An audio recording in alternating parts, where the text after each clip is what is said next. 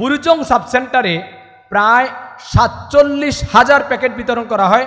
সেটা হচ্ছে অন্য সংস্থা, অন্য সংগঠন। এমনকি মাজারপন্থীরা পর্যন্ত আমাদের এই সংগঠনের সাবসেন্টারে এসে ত্রাণ দিয়ে গিয়েছেন। তাদের ত্রাণও আমাদের মাধ্যমে আল্লাহ সুবাহ মানুষের কাছে পৌঁছে দিয়েছে আমাদের টোটাল চোদ্দোটা জায়গায় ত্রাণ বিতরণ করা হয়। চট্টগ্রাম ফেনী, নোয়াখালী, লক্ষ্মীপুর, বুড়িচং, ব্রাহ্মণপাড়া, লাকসা, মনোহরগঞ্জ, চোদ্দগ্রাম, লালমাই, সদর দক্ষিণ, বরুড়া, মুরাদনগর দেবিদ্যার এইখানে সংগঠনের পক্ষ থেকে প্যাকেট বিতরণ করা হয়। এগারো হাজার সাতশো একষট্টি প্যাকেট এবং এর মধ্যে সাত হাজার ষোলো প্যাকেট ছিল শুকনা খাবার এবং চার হাজার সাতশো পঁয়তাল্লিশ প্যাকেট ছিল ভারী খাবার। প্রত্যেকে হয়তো সেনাবাহিনীকে কিংবা প্রশাসনকে গিয়ে ত্রাণ দিয়ে এসেছেন কিংবা একদিন গিয়েছেন, কিন্তু নিরবিচ্ছিন্নভাবে অব্যাহত রেখে ত্রাণ কার্যক্রম পরিচালনা করা, এটা আলহামদুলিল্লাহ হাইলাদিস আন্দোলনকে আল্লাহ সুবাহ তৌফিক দিয়েছেন। সার্বিকভাবে কেন্দ্রে যারা অবস্থান করছেন, আমরা কেন ত্রাণ বিতরণের কার্যক্রম আরও করছি না? মানুষের কাছে আরও কেন পৌঁছাচ্ছি না? অর্থাৎ ফান্ডের অভাব নেই। তোমরা ত্রাণ বিতরণ দ্রুত করো। তড়িৎ গতিতে একটা টাকাও যেন ফান্ডে না থাকে, তোমরা মানুষের কাছে ত্রাণ পৌঁছে দাও। মানুষ যেন না খেয়ে মারা যায়, মানুষ যেন খাবারের অভাবে মারা না যায়। সে কারণে হাইলাসেন্দ্র বাংলাদেশের মোহতারাম আমিরে জামাত আমাদেরকে সার্বিকভাবে অনুপ্রেরণা দিয়েছেন। প্রত্যেকটা সাব সেন্টারে আমাদের ইনশাল্লাহ মেডিকেল ক্যাম্প হবে। আমাদের প্রথম গত শুক্রবারে মেডিকেল ক্যাম্প স্থাপন হয় বুড়িচং সাব সেন্টার ওখানে আমরা ছয়শত ছিয়াত্তর জন রুগী দেখতে সক্ষম হই এবং তাদেরকে বিনামূল্যে ওষুধ প্রদান করা হয়।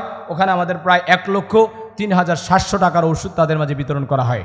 পুনর্বাসন কার্যক্রমকে গতিশীল করার জন্যে আপনারা স্ব অবস্থান থেকে আপনারা ইনশাল্লাহ এগিয়ে আসবেন।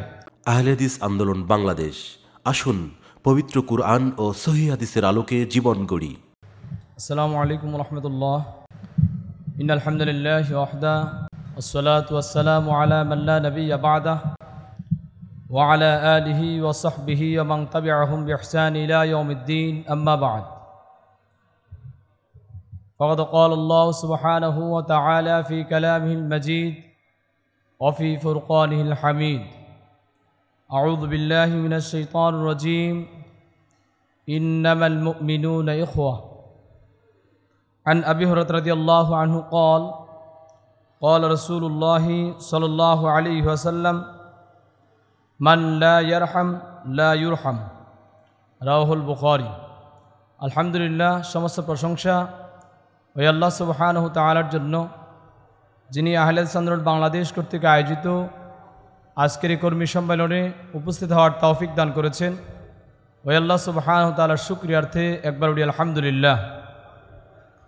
অগণিত দুরুদ ও শান্তির দ্বারা বর্ষিত হোক, আখিরি পায়গামর বিশ্বনবী মোহাম্মদ সাল্লাহ আলী ওসাল্লামের উপর আল্লাহুম্মা সাল্লি আলাই আল্লাহুম্মা বারিক আলাই সম্মানিত উপস্থিতি, আমার বক্তব্যের আলোচ্য বিষয়, সাম্প্রতিক বন্যা পরিস্থিতিতে আহলেস আন্দোলন যুবসংঘের ভূমিকা।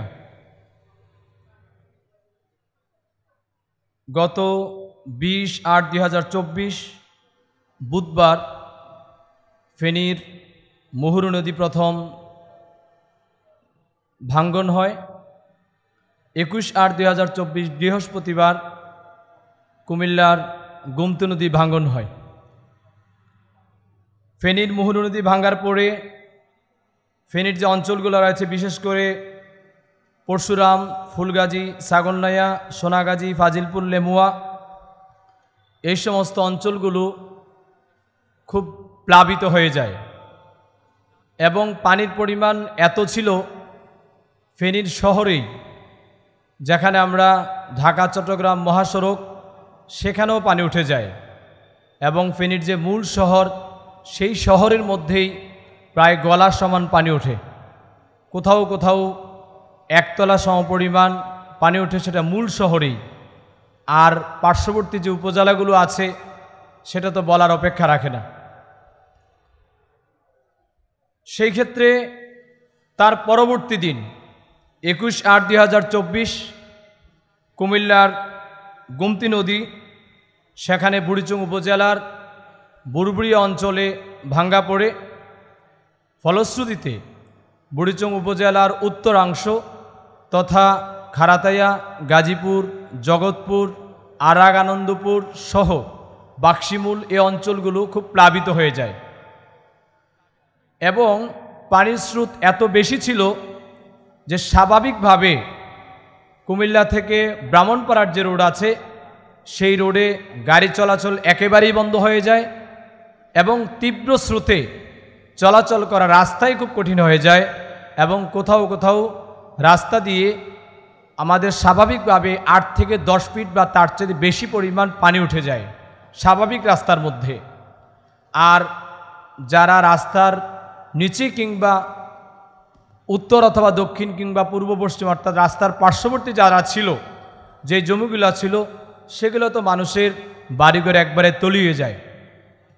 আহলাদিস আন্দোলন বাংলাদেশ বাংলাদেশ আহলেদ যুব সংঘ আহলাদিস পেশাজীবী ফোরাম সহ যে সমস্ত অঙ্গ সংগঠনগুলো রয়েছে আহলাদিস আন্দোলন শুধুমাত্র মাঠে ময়দানে শির্ক এবং বিদাহাতির বিরুদ্ধে আমাদের যে স্পষ্ট অবস্থান সবসময় থাকে, এর মধ্যেই সীমিত নয়। আহলাদিস আন্দোলন হচ্ছে একটি সামগ্রিক আন্দোলন। আহলাদিস আন্দোলন যেমনইভাবে মানুষের মাঝে শির্ক এবং বিদায়াতকে মূল মূলোৎপাটন করে, সেই জায়গায় তৌহিদ এবং সুন্নাতকে প্রতিষ্ঠা করতে চায় অনুরূপভাবে সমাজে, মানবতার জন্যে, মানুষের জন্যে, সামাজিক কর্মকাণ্ডেও আহলে হাদিস আন্দোলন এবং তার অঙ্গ সংগঠনগুলো নিরবিচ্ছিন্নভাবে আল্লাহর সন্তুষ্টির লক্ষ্যে কাজ করে, আলহামদুলিল্লাহ। বন্ধুরা আমার, আপনারা হয়তো জানবেন, স্বাভাবিকভাবে নদী ভাঙ্গনের পরে প্রথম যে পরিস্থিতি, সেটা হচ্ছে উদ্ধার কার্যক্রম। আমরা আমাদের বন্যা পরিস্থিতির কার্যক্রমকে পাঁচটি ভাগে ভাগ করতে পারি। প্রথমত হচ্ছে উদ্ধার কার্যক্রম, দ্বিতীয় হচ্ছে ত্রাণ বিতরণ, তৃতীয় নম্বর হচ্ছে চিকিৎসা, চতুর্থ নম্বর হচ্ছে পুনর্বাসন।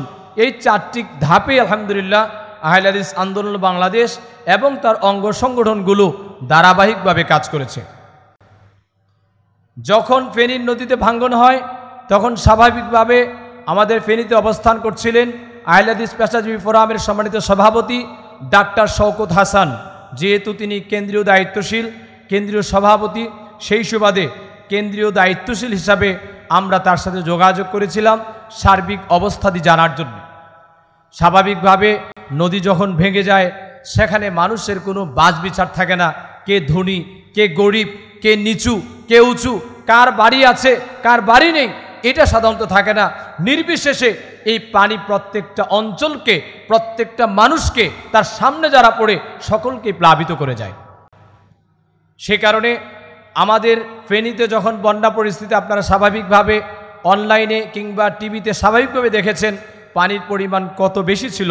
এই পরিস্থিতিতে আমাদের ডাক্তার শওকত হাসান এবং আহলাদিস আন্দোলন বাংলাদেশের দায়িত্বশীল বৃন্দ আহলাদিস পেশাজীবী ফোরামের দায়িত্বশীল বৃন্দ, বাংলাদেশ আহলেদ যুব সংঘের ফেনী ফেনী জেলার দায়িত্বশীল বৃন্দ, তারা প্রথমে যেই কাজটুকু করেছেন সেটা হচ্ছে উদ্ধার কার্যক্রম। আলহামদুলিল্লাহ, আমাদের ফেনীতে আমাদের সাংগঠনিকভাবে উদ্ধার কার্যক্রমে আমরা এ পর্যন্ত সার্বিকভাবে আমাদের কাছে যতটুকু তথ্য এসেছে, চারশো বিশ জনকে আমরা উদ্ধার কার্যক্রমে আমাদের অংশগ্রহণের মধ্য দিয়ে আহলাদিস আন্দোলন, আহলাদিস পেশাজীবী প্রোগ্রাম এবং আহলাদিস যুব সংঘের তৎপরতায় চারশো বিশ জন মানুষকে যারা ডুবে যাচ্ছিল কিংবা পানিতে প্লাবিত হয়ে গিয়েছিল, তাদেরকে আমরা উদ্ধার করতে পেরেছি। যদিও এই যে উদ্ধার কার্যক্রমের কার্যক্রম পরিচালনা করা, এটা আমাদের পূর্বে কোনো অভিজ্ঞতা ওই রকমভাবে ছিল না। কিন্তু এই উদ্ধার কার্যক্রমের সাধারণত যে ঘটনাগুলো আছে, সেটা অত্যন্ত শিহরিত হয়ে যাবেন আমি আপনি। আমাদের দেখা যাচ্ছে আমাদের যারা স্বেচ্ছাসেবী ছিল, তাদের মোবাইল সংযোগ পাওয়া যাচ্ছে না। তারা কোথায় আছে? কেমন আছে? এই খবরটুকু আমরা নিতে পারছি না যে তারা আছে কোথায়। হয়তো রাতে কখনো কখনো একবার কথা হতো, সারাদিন তারা চলে যেত, তারপর দিন বৃহস্পতিবার তাদেরকে যখন আমাদেরকে চাহিদা দেওয়া হলো যে আমাদের আরও রেস্কিউ টিম পাঠানো প্রয়োজন, কুমিল্লা থেকে আহলাইস আন্দোলন বাংলাদেশের সম্মানিত দপ্তর সম্পাদক বিল্লাল হোসাইন ভাই, তিনি পনেরো জন স্বেচ্ছাসেবী পাঠান আমাদের উদ্ধার কার্যক্রমে ফেনীতে অংশগ্রহণ করার জন্য কুমিল্লা থেকে। কিন্তু আজকে যে আমরা তাদেরকে পাঠিয়েছি, পাঠানোর পরে তাদের ফেনী অঞ্চলে যখন তারা চলে গেল একটা পর্যায়ে, তাদের সাথে আমাদের মোবাইল ফোন সংযোগ পাওয়া যাচ্ছে না। তারা আছে কোথায়? এবং একটা পর্যায়ে হয়তো তাদের সাথে আমাদের যোগাযোগ স্থাপন করা হলো যে ঠিক আছে, তারা আছে মহিপালে। কিন্তু মহিপালে এত পরিমাণ পানি ছিল, ডাক্তার শওকত হাসানের চেম্বারে যেতে হলে সেখানে গলার সমান পানি, পাড়ি দিয়ে যেতে হবে। তারপর রাত হয়ে গিয়েছে। স্বাভাবিকভাবে তাদের সাথে সংযোগ না রাখার কারণে আমরা সেই রেস্কিউ টিম পুনরায় আবার ফেরত আসতে হয়েছে। তারা গিয়েছিল সকালে, কিন্তু তারা এসেছে রাতে। অর্থাৎ কুমিল্লা থেকে ফেনীর দূরত্ব মাত্র দুই ঘণ্টা। কিন্তু যোগাযোগ বিচ্ছিন্নতা এবং সার্বিকভাবে রাস্তার পরিস্থিতি এই কারণে আমাদের উদ্ধার টিম ভালোভাবে কাজও করতে পারে নাই এবং যারা উদ্ধার কাজে শরিক হয়েছিলেন, তাদের যে কী অবস্থা সেটাও আমাদের জানার কোনো সুযোগ ছিল না। আমরা কখনো কখনো আল্লাহর উপর ভরসা করা ছাড়া আমাদের অন্য কোনো রাস্তা ছিল না। তারা আমাদের দায়িত্বশীল ভাইয়েরা আলহামদুলিল্লাহ কখনো গলা পানিতে, কখনো ডুবে সার্বিকভাবে উদ্ধার কার্যক্রমে শরিক হয়েছেন। একুশ আট দুই হাজার চব্বিশে ভাঙ্গন পড়ল আমাদের কুমিল্লার বুড়িচং অঞ্চলের ভুড়বুড়ি অঞ্চলে গুমতি নদী। এটা সবসময় সাধারণত তীব্র স্রোত থাকে। হঠাৎ করেই আমরা রাত্রে জানতে পারলাম বৃহস্পতিবার রাতে যে গুমতি নদী ভাঙ্গা পড়েছে বুরবিরা অঞ্চলে, পরবর্তী দিনে আমাদের কার্যক্রমের সার্বিক একটা ম্যাপিং করার জন্য আহলে সান্দরন বাংলাদেশের এবং বাংলাদেশ আহলে যুবসেন কেন্দ্রীয় নির্দেশনায় আমি এবং আমাদের সম্মানিত দায়িত্বশীল বিলাল ভাই, আমাদের সার্বিক একটা পরিস্থিতি পর্যবেক্ষণ করার জন্য গিয়েছিলাম। যে আমাদের এখন কাজ কি? কি কি কাজ করতে হবে? ভাঙ্গন পরবর্তী, যেহেতু রাত্রে আড়াইটায় ভেঙেছে, সম্ভবত রাত্র সাড়ে বারোটায় ভেঙেছে, তারপর দিয়ে আমাদের কাজ কি হওয়া উচিত? সে অঞ্চলগুলোতে আমরা পরিদর্শন করে আমাদের প্রাথমিক সিদ্ধান্ত হলো, আজকে আমাদের রেস্কিউ কাজে অংশগ্রহণ করতে হবে। সেক্ষেত্রে বাংলাদেশ সাহেলের যুব সংঘের কেন্দ্রীয় কাউন্সিল সদস্য আবদুল্লাল মুসাদ্দিক ফরমানের নেতৃত্বে বাংলাদেশ সাহেলের যুব সংঘের একটা টিম সারা রাত ব্যাপী শুক্রবার রাত, শুক্রবার দিন এবং তারপর দিনে আমাদের রেস্কিউ টিম একেবারেই দিন রাত চব্বিশ ঘন্টায় যেন কাজ করার মানসিকতা নিয়ে আমরা সেখানে উদ্ধার কার্যক্রমে আলহামদুলিল্লাহ আমরা অংশগ্রহণ করি। এবং সেখানে আমরা প্রায় দুইশো পঞ্চাশ জন মানুষকে আমরা সাংগঠনিক তৎপরতায় উদ্ধার কার্যক্রমের মধ্য দিয়ে তাদেরকে উদ্ধার করতে সক্ষম হই, ফালিল্লাহিল হামদ। যদিও এই পদগুলো কখনো স্বাভাবিকভাবে সহজ ছিল না। আবদুল্লাহ মুসাদ্দিক ফরমান এবং আরও যারা দায়িত্বশীল, স্বেচ্ছাসেবী ছিলেন, তারা নিরলস পরিশ্রম করে এই উদ্ধার কার্যক্রমে পরিচালিত করা এটা অত্যন্ত কঠিন এবং ঝুঁকিপূর্ণ। স্বাভাবিকভাবে বলা যায় না যে পরবর্তী আমার অবস্থা কী হবে। কিন্তু সাংগঠনিক নির্দেশনায় মানবতার নির্ঘে মানুষের জন্যে আহলাদিস আন্দোলন যে কাজ করে এই অনুভূতি নিয়ে আমাদের স্বেচ্ছাসেবকরা নিরলসভাবে উদ্ধার কার্যক্রম আলহামদুলিল্লাহ পরিচালিত করেছেন। তার পরবর্তী আমাদের কার্যক্রম হলো ত্রাণ বিতরণের আমরা সার্বিকভাবে মনে করলাম, তারপর থেকে আমাদের ত্রাণ বিতরণ করা প্রয়োজন। ত্রাণ বিতরণ করার জন্যে সবচেয়ে শিহরীয় যেটা অভিজ্ঞতা, সেটা হচ্ছে আমাদের নৌকা, স্পিডবোট, এই জাতীয় বিষয়গুলোর একটা যথেষ্ট সংকট ছিল। আমরা আমাদের আলোচনার মধ্য দিয়ে বাংলাদেশ প্রকৌশল বিশ্ববিদ্যালয় ডুয়েট টিমকে আমরা আন্তরিকভাবে কৃতজ্ঞতা জানাই, যারা আমাদেরকে এই নৌকা সংগ্রহে যথেষ্ট পরিমাণ সহযোগিতা করেছেন আমার শ্রদ্ধেয় বড় ভাই এবং ডুয়েটের শিক্ষার্থী জনাব ফরমান ফুরকান। তিনি আমাকে, আমাদেরকে আন্তরিকভাবে সহযোগিতা করেছেন। ঢাকা থেকে বড় মানের তিনটি নৌকা নিয়ে আমরা বুড়িচংয়ের উদ্ধার কার্যক্রম এবং তান বিতরণে এই কার্যক্রম পরিচালনা করার জন্য আমরা সেখানে ঢাকা থেকে আটচল্লিশ ঘণ্টা সময় ব্যয় করে মানে যেদিন ভাঙ্গা পড়েছে, বৃহস্পতিবার, শুক্রবার, এই দুইটা দিন সময় ব্যয় করে আমরা তিনটা নৌকা সংগ্রহ করি যেটা অত্যন্ত ভারী নৌকা। যেই নৌকাগুলো নামানোটা অত্যন্ত কঠিন, এর মধ্যে এই নৌকাগুলো নামানোর জন্যে সাধারণত ক্যারেং যেই গাড়িগুলো আছে, ওগুলো প্রয়োজন। কিন্তু পানি কবলিত এলাকায় ক্যারেং নিয়ে এই নৌকা নামানোর কোনো ব্যবস্থা ছিল না। যখন নৌকাগুলো নিয়ে আসা হয়, তখন নৌকাগুলো নামানোর জন্যে আমাদের প্রায় ত্রিশ থেকে ৩৫ জন স্বেচ্ছাসেবীকে কাঁধে করে ট্রাক থেকে এই নৌকাগুলো নামানোর জন্য প্রেরণ করা হয়। যারা এই নৌকাগুলো যেখানে ক্যারেং গাড়ি দিয়ে নামানোর প্রয়োজন, পরিস্থিতি যেহেতু আমাদের অনুকূলে না ক্যারেং গাড়িও যাবে না মানুষকে উদ্ধারও করতে হবে, ত্রাণ বিতরণও করতে হবে, মানুষের কাছে পৌঁছতে হবে। এই অনুভূতি নিয়ে আমাদের প্রায় ৩৫ থেকে চল্লিশ জন স্বেচ্ছাসেবক শুধুমাত্র এই ভারী নৌকাগুলো কাঁধে করে নামাতে হবে, ট্রাক থেকে। এই মানসিকতা নিয়ে প্রেরণ করা হয়। কিন্তু রাত্র যখন বুড়বুড়িয়া অঞ্চল যেটা সেই অঞ্চলে আমাদের ট্রাকগুলো যখন তিনটা ট্রাক, তিনটা নৌকা নিয়ে পৌঁছে তখন সম্ভবত রাত্র দশটা থেকে এগারোটা। মাগরিবের পড়ে গিয়েছে, কুমিল্লা থেকে বুড়িচঙ্গের দূরত্ব মাত্র আধা ঘণ্টা। কিন্তু সেই জায়গায় মাগরিবের পরে প্রেরণ করার পরে তারা ওই যেই জায়গায় নৌকাগুলো নামাবে, সেই জায়গাগুলোতে পৌঁছতে তাদের সময় লেগে যায় সম্ভবত এগারোটা থেকে বারোটা। এর মধ্যে বাংলাদেশ সেনাবাহিনী তারা কোনোভাবেই রাত্রে এই নৌকাকে নামাতে দেবে না।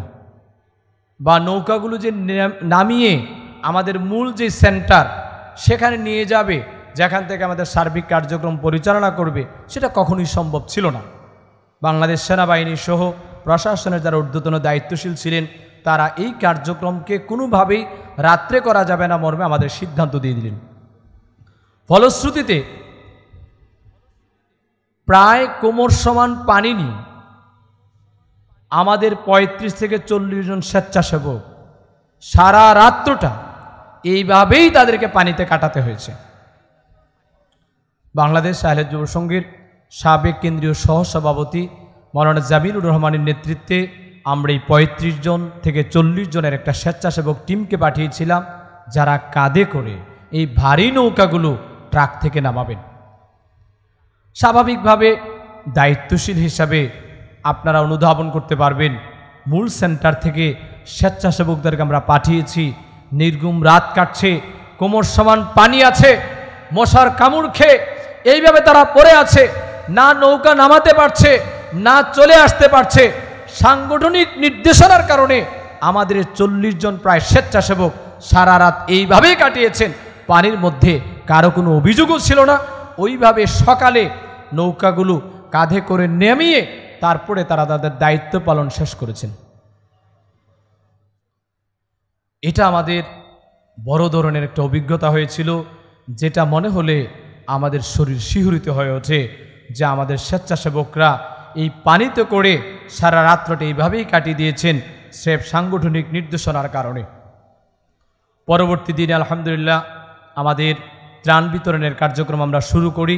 সেই ত্রাণ বিতরণের কার্যক্রম আমরা শুরু করব কীভাবে সেই লক্ষ্যে বাংলাদেশ আইলের যুব সংঘের কেন্দ্রীয় সভাপতি মাওলানা শরীফুল ইসলাম মাদানি এবং বাংলাদেশ আইলের যুব সংঘের কেন্দ্রীয় সমাজ কল্যাণ সম্পাদক ফয়সাল মাহমুদ তারা বৃহস্পতিবার রাতেই সার্বিক পরিস্থিতি পর্যবেক্ষণ করে রাজশাহী থেকে রওনা হন।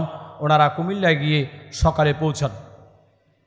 যদিও আমরা কুমিল্লার দায়িত্বশীল হিসাবে আমি বারবার নিষেধ করছিলাম যে আসার প্রয়োজন নেই আমরাই হয়তো বিষয়গুলোর সমস্যা ইনশাল্লাহ সমাধান করার চেষ্টা করব, কেন্দ্রকে আমরা জানাব। কিন্তু আমরা যে শুধুমাত্র আমাদের দাওয়ার্থী কার্যক্রমের মধ্যেই সীমাবদ্ধ নয়, সেই লক্ষ্যেই, সেই অনুভূতি থেকেই আমাদের কেন্দ্রীয় সভাপতি মহোদয় এবং সমাজ কল্যাণ সম্পাদক কুমিল্লায় ছুটে গিয়েছিলেন। আমরা তাদের প্রতি আন্তরিকভাবে কৃতজ্ঞতা প্রকাশ করছি। পরবর্তীতে শুক্রবার জুমার দিনে যদিও আমাদের যেহেতু বুধবারে ফেনীতে ভাঙন হয়েছে আমরা চিন্তাও করতে পারি নাই, কুমিল্লায় ভাঙ্গন হবে। ফেনীর কার্যক্রমকে সহযোগিতা করার জন্যে কুমিল্লা জেলা আন্দোলনের সম্মানিত সভাপতি মাওলানা সফিউল্লাহ সাহেবের নেতৃত্বে একটি সার্বিকভাবে সিদ্ধান্ত হয়, ফেনীর কার্যক্রমকে সহযোগিতা করার জন্যে কুমিল্লার প্রত্যেকটা শাখা আন্দোলনের প্রত্যেকটা উপজেলায় আমরা কালেকশন করব, যাতে ফেনীর যেই বন্যা কবলিত মানুষদেরকে সহযোগিতা করা যায়। এটা হচ্ছে আমাদের বুধবারের সিদ্ধান্ত। কিন্তু বৃহস্পতিবার রাতে আমাদের কুমিল্লার গুমতি নদীও ভেঙে যায়। ফলশ্রুতিতে শুক্রবারে আলহামদুলিল্লাহ আমাদের ত্রাণ কার্যক্রম যেতে আগে থেকেই সিদ্ধান্ত ছিল, কুমিল্লার প্রত্যেকটা মসজিদে আলহামদুলিল্লাহ আমাদের এই ত্রাণ বিতরণ এবং উদ্ধার কার্যক্রম অর্থাৎ বন্য কবলিত এলাকার মানুষদেরকে যা যা করা প্রয়োজন সেই লক্ষ্যে জুমার প্রত্যেকটা মসজিদে কালেকশন যেতে আগে থেকেই সিদ্ধান্ত ছিল এবং যুব সংঘের কেন্দ্রীয় সভাপতি মহোদয় উপস্থিত ছিলেন। সেই কারণে আমাদের ওই দিন বিপুল পরিমাণ একটা কালেকশন হয়ে যায়। সেই দিনে প্রায় দশ লক্ষ টাকার মতো কালেকশন হয়। আলহামদুলিল্লাহ। অতপর আমাদের সার্বিকভাবে এই কার্যক্রমকে পরিচালনা করার জন্যে একটি কেন্দ্রীয় নেতৃত্ব, কেন্দ্রীয় নির্দেশনায় একটি সমন্বয় কমিটি গঠন করা হয়। সেই সমন্বয় কমিটিতে স্বাভাবিকভাবে কেন্দ্রীয় দায়িত্বশীল হিসাবে আমাকে প্রধান সমন্বয়ক হিসেবে দায়িত্ব প্রদান করা হয়। এবং সাথে আট থেকে জনের একটি সমন্বয় কমিটি গঠন করা হয়, যারা সার্বিকভাবে এই বন্যা কবলিত এলাকার কার্যক্রমকে পরিচালনা করবে। পরবর্তীতে আলহামদুলিল্লাহ আমরা কেন্দ্রীয় নির্দেশনা এবং সার্বিক পরিস্থিতি পর্যবেক্ষণ সব দিক বিবেচনা করে আমরা প্রশাসন যেমনইভাবে প্রত্যেকটা জায়গায় সেন্টার স্থাপন করে, সেখানে তাদের নিজস্ব ব্যানার থাকে, সেখানে তাদের সার্বিক কার্যক্রম সম্পর্কে সব কিছু বলা থাকে মানুষ সেখানে এসে তাদের যাবতীয় তথ্যাদি ইত্যাদি পেয়ে থাকে। ঠিক অনুরূপভাবে আহলাদিস আন্দোলন বাংলাদেশ এই বন্যা কবলিত এলাকার মানুষদের উদ্ধার কার্যক্রম, ত্রাণ বিতরণ এবং অন্যান্য কার্যক্রম পরিচালনা করার জন্য আটটি সাব সেন্টার গঠন করা হয় এবং প্রধান সেন্টার হিসাবে আমাদের আলে কাঠচরস্থ অবস্থিত হাসান সালাফিয়া জামে মসজিদ সেখানে প্রধান সেন্টার হিসেবে ঘোষণা করা হয়। তারপর থেকে ওই হাসান সালাফিয়া জামে মসজিদ থেকে আমাদের বাকি আটটি সেন্টারে আমরা দৈনিক, নিয়মিতভাবে, নিরবিচ্ছিন্নভাবে আমাদের তান কার্যক্রম পরিচালনা হয় আলহামদুলিল্লাহ।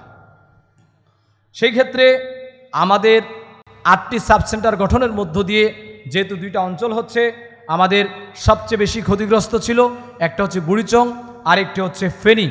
সে কারণে ফেনীর যে সাব সেন্টার সেই সাব সেন্টারে আমাদের অনেক বেশি গুরুত্ব দেওয়া হয় এবং ফেনীকে গুরুত্ব দেওয়া হয়। ফেনী সাব সেন্টারে আমাদের প্রায় সংগঠনের পক্ষ থেকে ফেনী ফেনী সাব সেন্টারে আমাদের ত্রাণ বিতরণ করা হয়। দুই হাজার চারশো ত্রিশ প্যাকেট এবং বুড়িচং সাব সেন্টারে ত্রাণ বিতরণ করা হয় সংগঠনের পক্ষ থেকে দুই হাজার সাতশো বারো প্যাকেট।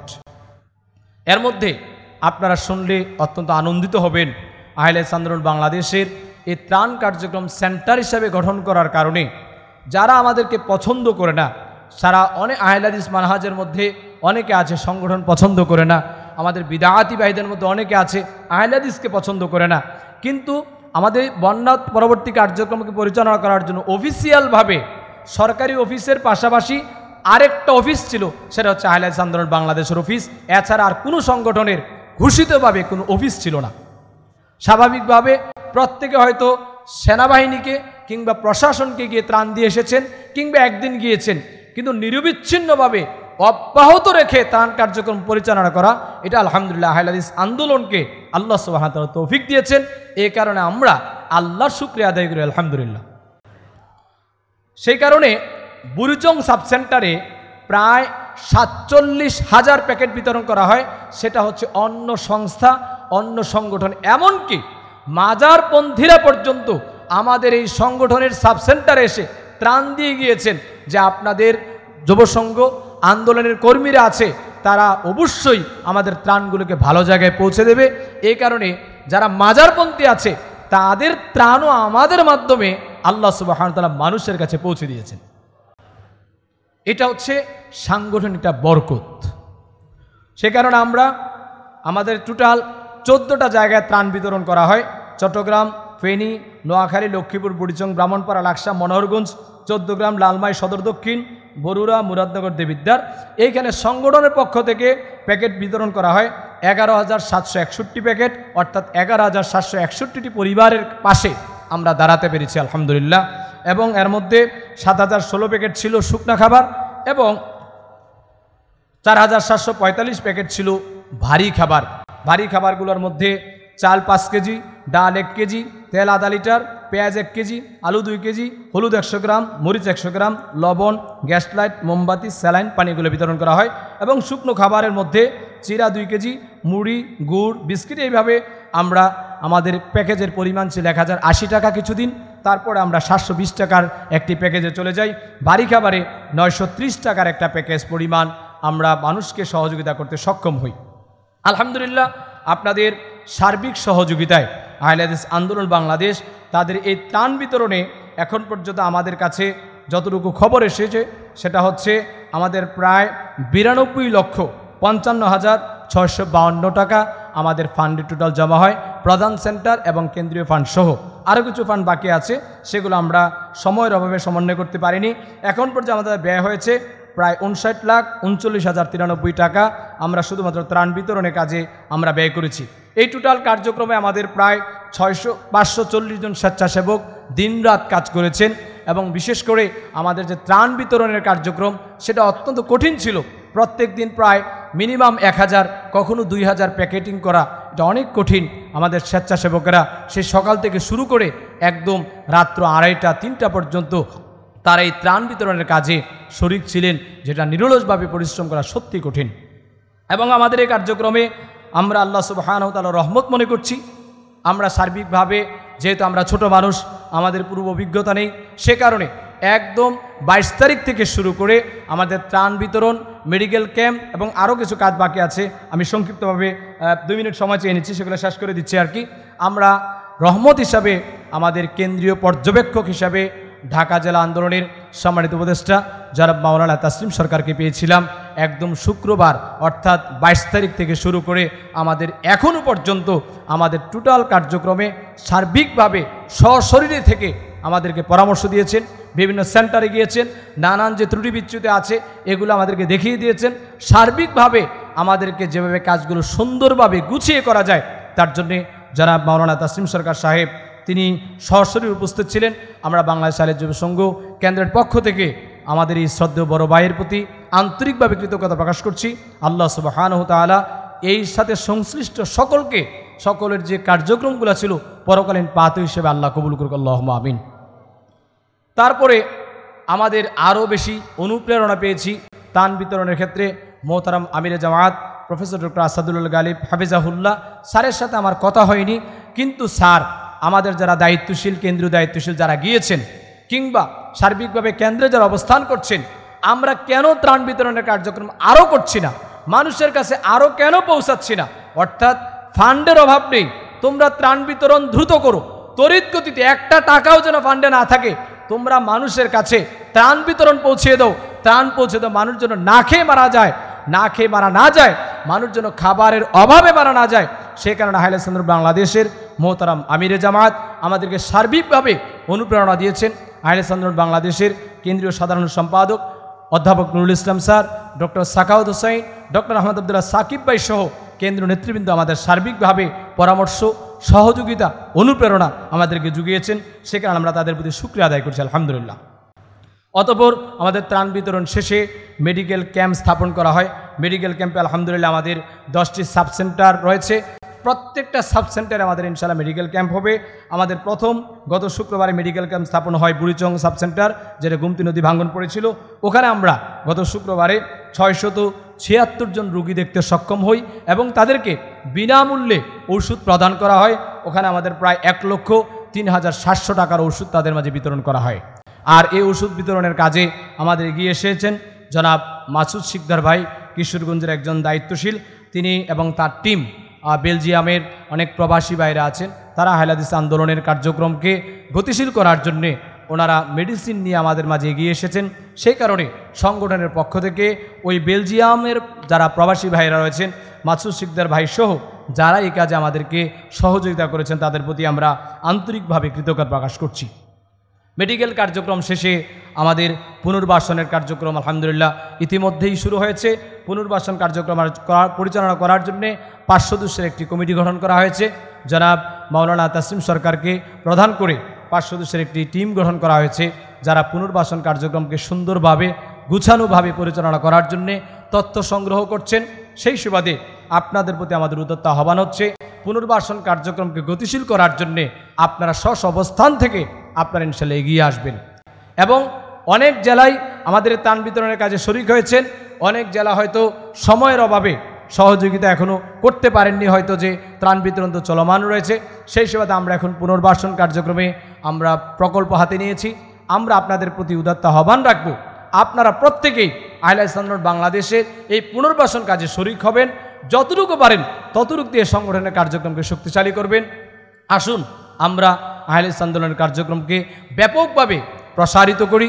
আমরা দলমত নির্বিশেষে আহলেস আন্দোলনের ত্রাণ বিতরণ কার্যক্রম যেভাবে সে আহলাদিস হোক, নন আহলাদিস হোক, হিন্দু হোক, মুসলিম হোক, প্রত্যেকের কাছেই আমরা আলহামদুলিল্লাহ এই ত্রাণ বিতরণ পৌঁছে দিতে পেরেছি। অনুরূপভাবে আমরা আপনাদের কাছে আশা করছি আহলাদিস আন্দোলনের দাওয়াতি কার্যক্রমকে বেগবান করার জন্য আসুন, প্রত্যেকটা অঞ্চলে ছুটে যাই এবং জামাতবদ্ধ থাকি, সাংগঠনিক নির্দেশনাকে একেবারে কঠিন একটা নির্দেশনা গ্রহণ করে আমরা এটা মেনে নিয়ে আমরা সার্বিকভাবে আমাদের কার্যক্রমকে গতিশীল করি। আল্লাহ সুবহান তাআলা আমরা যতটুকু খ্যাতমত করেছি, আল্লাহ আমাদেরকে যতটুকু তৌফিক দিয়েছেন, সে কারণে আমরা আল্লাহর শুক্রিয়া আদায় করি এবং আল- আল্লাহ সুবহান তাআলা যেন আমাদের এই কার্যক্রমের সাথে যারা যেভাবে বুদ্ধি দিয়ে, পরামর্শ দিয়ে, অর্থ দিয়ে গায়ে খেটে যেইভাবে অংশগ্রহণ করেছেন, প্রত্যেকের অবদানকে যেন আল্লাহ সুবহান তাআলা পরকালীন পাথেয় হিসাবে কবুল করুন। আল্লাহ আমিন। পরিশেষে বাংলাদেশ আয়ালের যুব সঙ্গে কেন্দ্রের পক্ষ থেকে আপনাদের সকলকে আন্তরিক শুভেচ্ছা এবং অভিনন্দন জানিয়ে আমি আমার সংক্ষিপ্ত বক্তব্য এখানে শেষ করছি। আকুল কাউলি হাদা আস্তাকুর সাইল মুসলিমিন। আসসালামু আলাইকুম রহমতুল্লাহ।